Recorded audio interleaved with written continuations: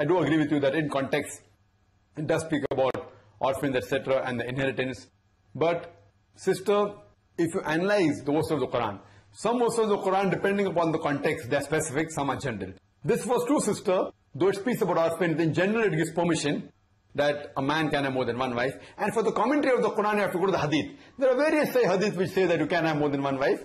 So there's no true doubt about it that it only specifically refers to the orphans, though it does in this verse. So it's a general verse that gives permission that a man can, not that he should. Not that it's farad, that a man should take more than one wife. Neither do I consider it to be mustahab, but it is optional, it is mubah, that he can take more than one wife. And he can, and if it's for a requirement where, if society is such, where he has to support certain women or not married, and does that, Islam gives permission السلام عليكم. السلام.